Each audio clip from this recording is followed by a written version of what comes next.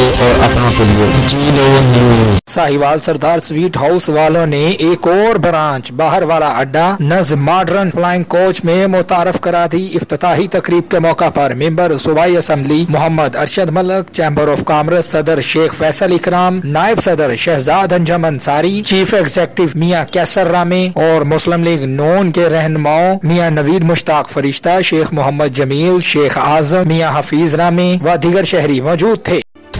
Subscribe to know my YouTube channel.